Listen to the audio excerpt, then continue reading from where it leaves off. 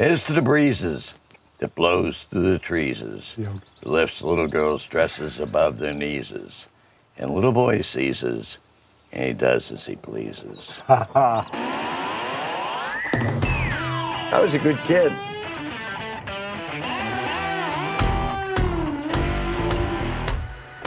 Charged him 10000 a kilo to transport it. I was making 10, 20 million a week. He's like, he's a pirate. He's gonna kill me for telling Toss to George. It's a game, and you're gambling your life. What the hell happened?